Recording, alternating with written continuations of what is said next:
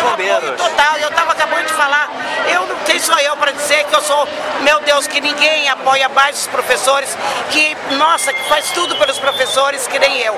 Eu tenho filhos, eu tenho, eu tenho netos e sobrinhos que estudam.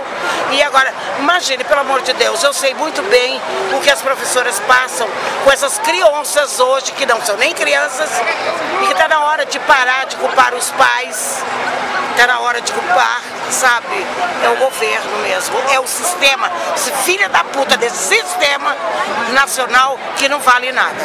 Safados. Isso mesmo. Que a gente sabe, o povo sabe.